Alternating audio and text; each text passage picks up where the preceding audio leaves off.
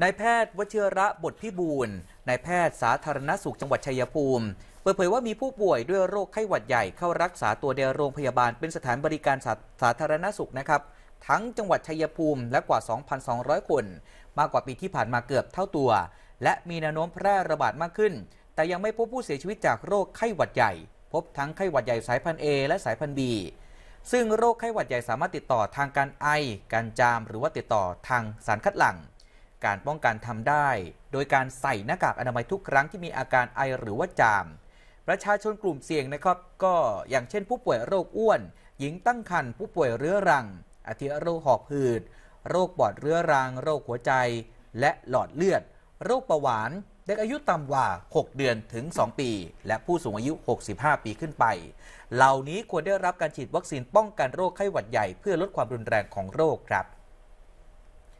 ที่จังหวัดอุทัยธานีครับ นายแพทย์สุชินคันสอน ผู้อำนวยการโรงพยาบาลทับทัน ได้มีการจัดเจ้าหน้าที่ของโรงพยาบาลและเจ้าหน้าที่โรงพยาบาลส่งเสริมสุขภาพตำบลทุกแห่ง และอสม ในเขตของพื้นที่อำเภอทับทัน ออกไปฉีดวัคซีนไข้หวัดใหญ่ในกลุ่มเป้าหมายดังกล่าวตามจุดนัดรวมสารกลางหมู่บ้าน ส่วนผู้ป่วยที่เป็นผู้ป่วยติดเตียง ได้นำเจ้าหน้าที่ออกฉีดวัคซีนไข้หวัดใหญ่ให้ถึงบ้าน เพื่ออำนวยความสะดวกแก่ผู้ป่วย